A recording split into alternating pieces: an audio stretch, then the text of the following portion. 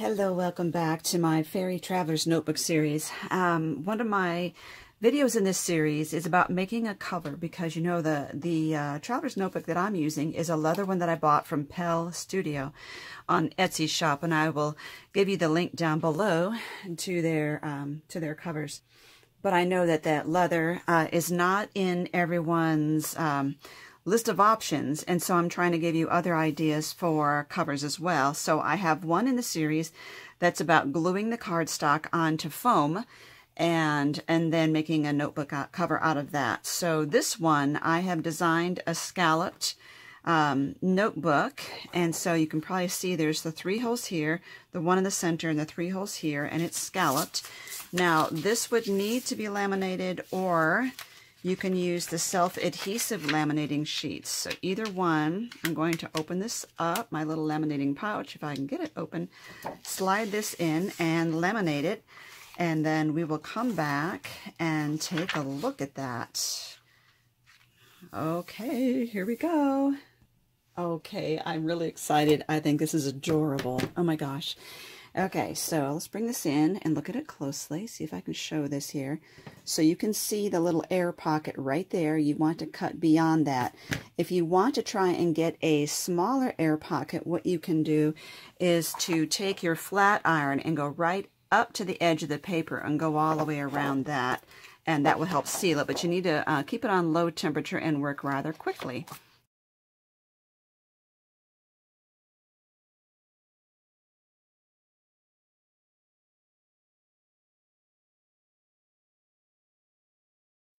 Okay, it's so cute.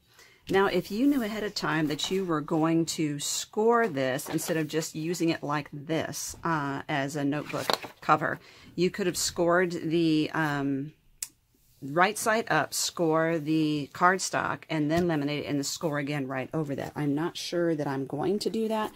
I do need to punch my holes here, though. And I, uh, in the file here, for this pattern, I have these holes at the 1 8 inch um, size, which is exactly what I have my Crop-A-Dile Big Bite set at right now.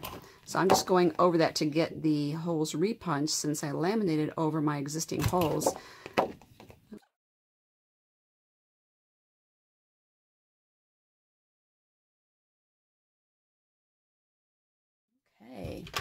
Now, um, because it's laminated and this is pretty sturdy, you don't have to uh, put eyelets in there, but I like the look of eyelets, so I will probably put eyelets in there. Let me go pick a color out.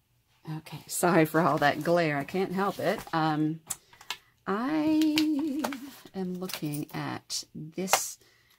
I have a couple. This is a, a teal color, but it leans toward the green, and this is a turquoise. It's a very light turquoise blue think I, and I do have a purple, um, I think I'm going to go, oh, and there's a darker one here.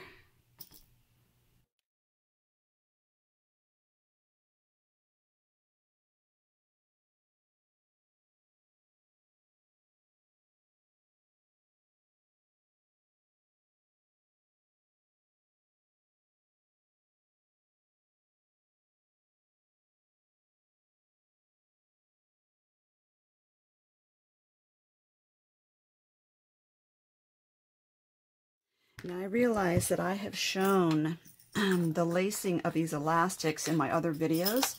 However, um, it can get very confusing and you may think that you need to keep watching the video over and over again to get it or understand it, but I have a hint for you.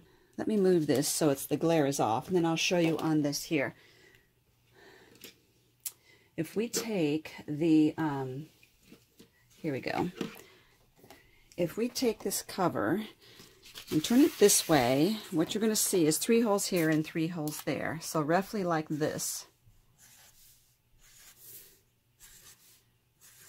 And don't worry about the one in the center. That's for something else. I want you to think about making a figure eight with your, um, with your uh, elastic. So you would start here and go like this.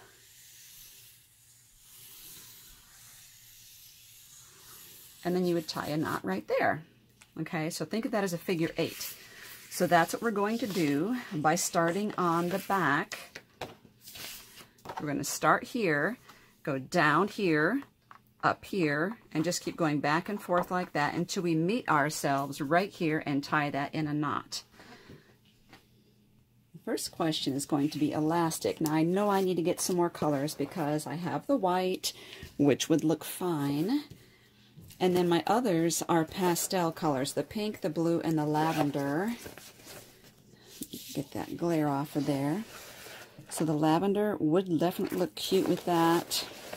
And the blue would. And the pink, which I haven't used yet. There's actually no pink in here. It's kind of deceptive. I mean, except for, well, I guess there are. It's the accents on the flowers. Oh my goodness. Well, I think I'm going to use the pink just because I want that contrast this time. So let's put this in here and let's get started. Okay, so we're going to turn it over and we're going to start there. Okay, so I had a problem here in that right in the middle of my video, it cut off recording. So I was explaining how you're going to do the figure eight with your elastic. And so I numbered them one, two, three, four, five, six, seven, and eight.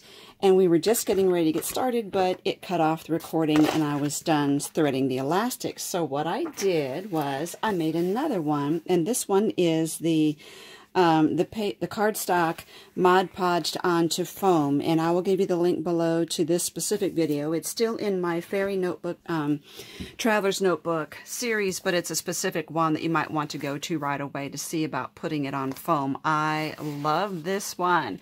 So we are going to thread this one uh, with the elastics because I really wanted you to see if we're doing the figure eight how easy that is and the first thing we need to do is grab the elastic and kind of measure that out. So if you have, we're going to start here and do our knot, and then we need to go down, cross, up. Try not to pull the elastic tight when you're measuring, even though it, uh, you will be pulling it tight when you are, um, when you're going ahead and tie the knot.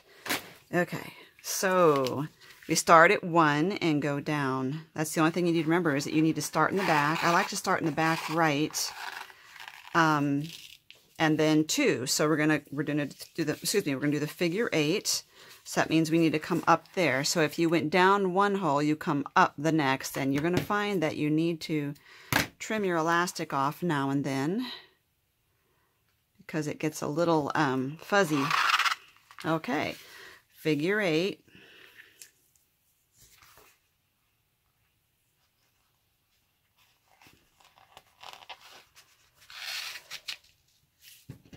This is really needing to be trimmed quickly. Okay, now it's this one. Okay, we're still doing the figure eight, so now we're going up to the top.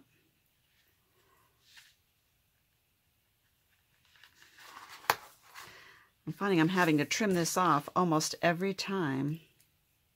It might just be this elastic, and I could go ahead and seal the end off. That may help. Okay, so we're doing this. We're going back, back this way. This is where it gets tricky. We need to go back into a hole we've already done. And so I've been showing how I use um, button thread because it's thicker than regular thread.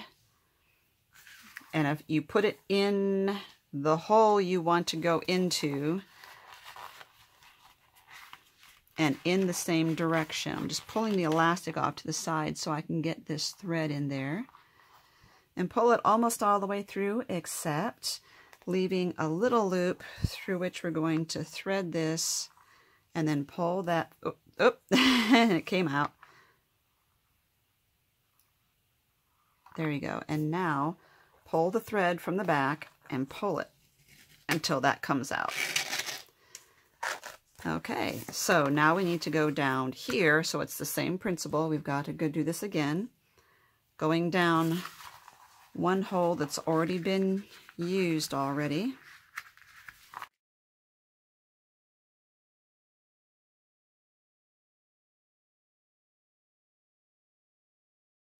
Okay, those were the only two difficult ones.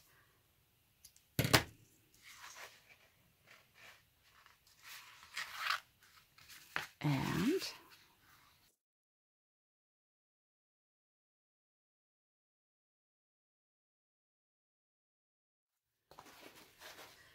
which means we need to figure out how long that's going to be. And it's going to go around here and enough for a knot. Now this one I do pull snug.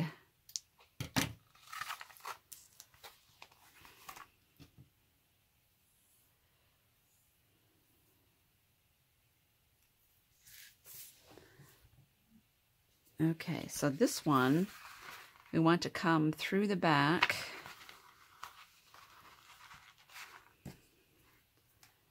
And I like to pull this right into the middle of the elastic like this. Here we go. And don't pull it all the way, just pull it part way through. I like to also stick my scissors in there so I don't pull it back out while I'm tying this knot here. And I like about the scallop is that the um, the elastic goes right in between those two scallops, which is perfect. It keeps it lined up. Very cute. Oh my goodness, I love this foam one. It is so adorable. Okay, guys, thank you so much for watching. I hope that explained that better for you. Just remember, it's a figure eight. You never have to stop and rewatch the video if you just always think figure eight. Remember to seal the ends of these so that they don't keep fraying like that. And thank you so much for watching. And make sure you look at all the video description underneath this video.